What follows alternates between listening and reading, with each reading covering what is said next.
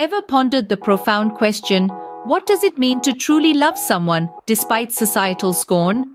This is the question at the heart of the Italian classic Malena, released in the year 2000. In the charming town of Castelcuto, Sicily, during the throes of the Second World War, we meet our protagonist, a 13-year-old boy named Renato.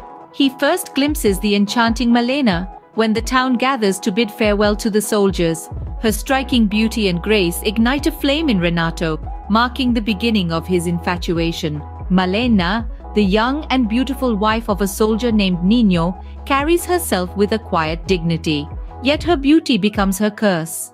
As she walks down the streets, men leer and women seethe with jealousy, spreading malicious gossip about her. Renato, though young, is deeply smitten.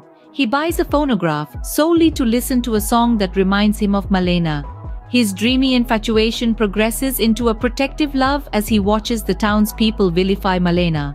When news arrives that her husband Nino has fallen in the war, Malena's life crumbles. She is forced to fend for herself in a society that is unforgiving and harsh.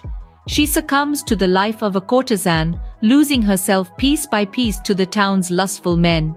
Throughout it all, Renato's love remains steadfast. He watches her, silently supporting her, even when she succumbs to the town's lawyer, her most ardent suitor. When she is tried in court for her supposed crimes, it is Renato who stands up for her, albeit in his own silent way. The movie comes full circle when the war ends and Nino returns unexpectedly alive. The townspeople, in their characteristic hypocrisy, quickly forget their past actions. However, Malena's life is irreversibly changed. In the end, we see Renato, now a grown man, reflecting on the past. He still treasures his memories of Malena, the woman who taught him about love and heartbreak. The movie ends on a poignant note, leaving us to reflect on the fickleness of society and the purity of first love. To summarize, Malena is a cinematic exploration of love, societal hypocrisy, and the resilience of a woman. It chronicles Renato's journey from a dreamy-eyed boy to a man who understands the complexities of love and life.